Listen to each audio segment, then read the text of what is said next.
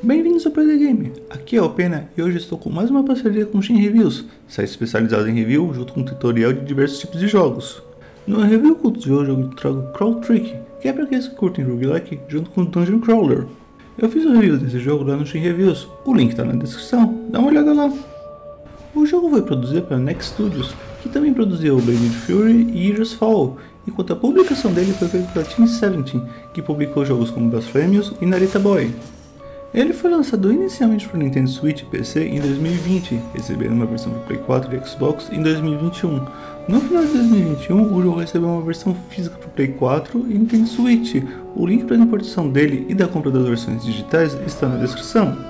Mas sem mais delongas, vamos explorar o reino dos pesadelos junto com uma coroa?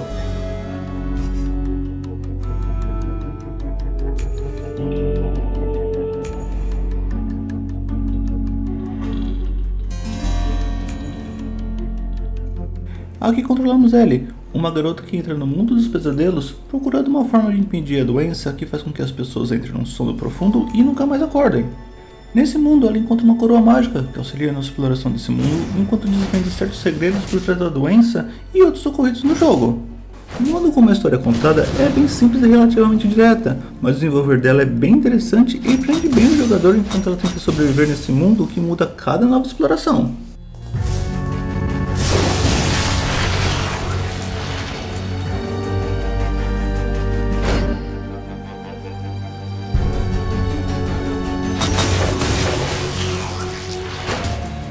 Esse é um roguelike com exploração de masmorras, então só nisso já dá para saber o que mais vai acontecer aqui é morrer nas missões, já que tudo é aleatório devido ao sistema procedural. A exploração dele é toda por movimentos quadrado a quadrado, no sistema clássico do gênero, onde cada passo ou ataque é um turno e os inimigos agem também em resposta. Só que nesse eles adicionaram um sistema de pulo que deixa o jogo mais ágil.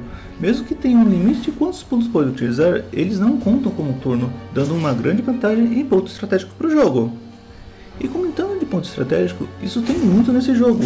Conforme você avança nele, desbloqueia familiares que liberam poderes elementais e eles são muito utilizados para realizar combos durante as batalhas, tendo verdadeiras reações em cadeia dependendo do seu efeito.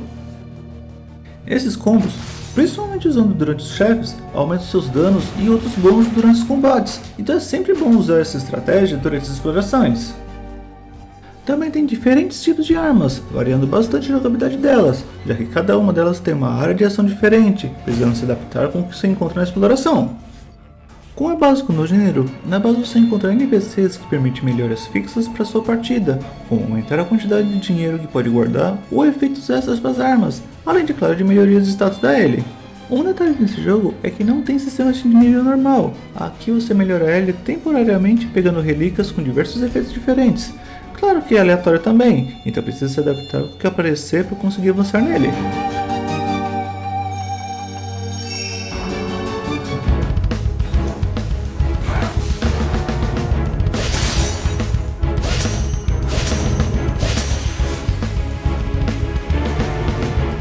Os gráficos do jogo são todos em 2D que lembram artes desenhadas à mão, os movimentos dos personagens bem fluidos e com bastantes efeitos durante os ataques deles. A variedade de cenários é relativamente pequena, justamente por causa do modelo procedural utilizado no jogo, mas todos são bem detalhados e ainda trazem alguns easter eggs para agradar o pessoal que gosta dessas brincadeiras dos desenvolvedores.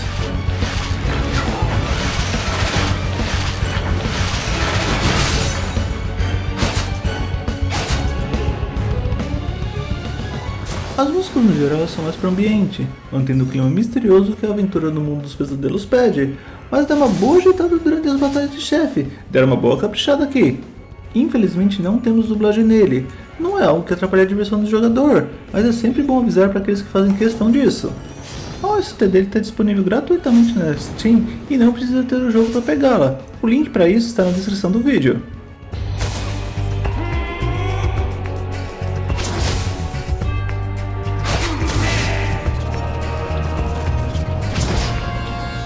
Você finaliza a campanha principal, libera o modo Invasão das Trevas, onde você pode explorar as dungeons originais com uma dificuldade elevada e também marca a quantidade de turnos utilizados para finalizar cada sequência.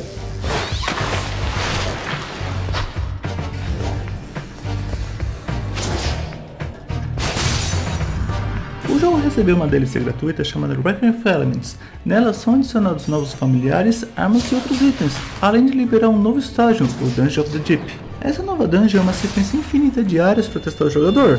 Nela tem algumas pequenas diferenças na jogabilidade, como o limite de turnos, onde precisa derrotar mais inimigos para conseguir permanecer nela por mais tempo, mas uma sequência bem satisfatória para quem curte uma dificuldade mais elevada nesse tipo de jogo. Essa DLC é separada no PC, mas nas versões do console ela já vem integrada no pacote do jogo.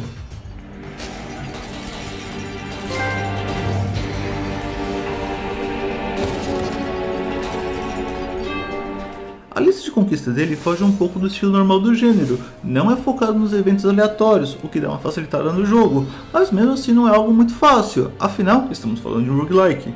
Entre as mais complicadas temos derrotar todos os chefes e subchefes do jogo, finalizar a sequência King of Nightmares no pós-game, derrotar o Black Monolith e desbloquear pelo menos 15 relíquias. Em resumo, Chrono Trick é um jogo para quem se curte o gênero roguelike com Dungeon Crawler, trazendo uma ação um pouco mais ágil dos jogos turno e agradando bastante tanto nas músicas, gráficos e jogabilidade. O único grande problema dele é o tempo de recarga entre os andares, que é um pouco grande, mas não afeta tanto a partida normal, só mais a dungeon extra. Gostou do vídeo? Tem alguma dúvida? Deixe um comentário aí e não esquece de curtir o vídeo e se inscrever no canal. Obrigado e até a próxima!